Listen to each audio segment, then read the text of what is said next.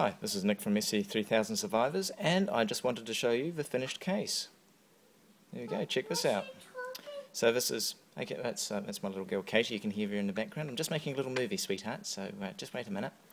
Um, so, if you remember, I um, took an original SC3000, SG1000 cartridge case, um, took some moulds of it, so we've seen those before. Now there's the um, mould of the top half of the case, here's the mould of the bottom half of the case. You can see it's picked up all the detail nicely.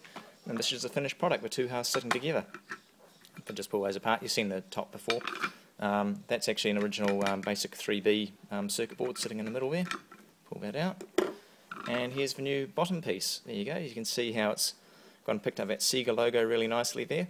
And we've got my nice little 3D printed SC3000 Survivors logo. So um, yeah, look, I'm really happy with that. It was a lot of work. Turns out it's pretty hard to get a decent um, uh, cast out of a thin-walled part like this, but it can be done. Um, so I might just knock up a few of these and start shipping them with the multi-carts. So I hope you've enjoyed the series, and um, yeah, I'm, I'm pretty pleased with the outcome. See ya.